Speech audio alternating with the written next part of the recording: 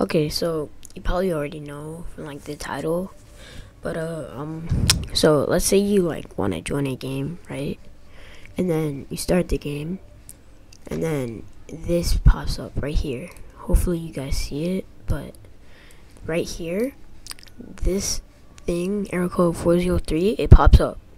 So you probably might have gotten banned from a different account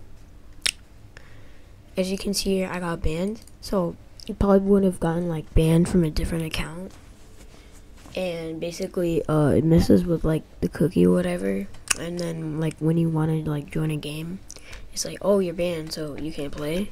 Well, I'm gonna tell you how to fix that. So you wanna go hit the little Windows key like this.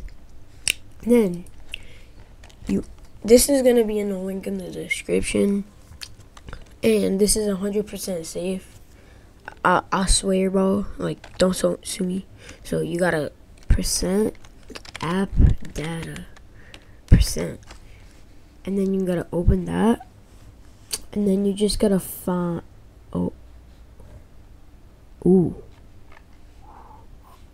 Yeah, you gotta find. Uh, no, no, no.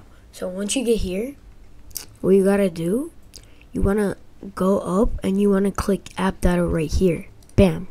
And then you want to go to local and you double click it. And then you want to find Roblox. So you have to find Roblox.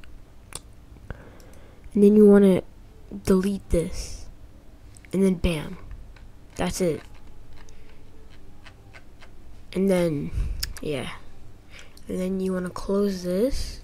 Go back and then I'm gonna join. Oh yeah, I got block Bloxstrap. So you wanna join? And bam, it works. Uh, so uh, yeah, uh, that's what you have to do to like get it to work. So yeah, uh, I'm a.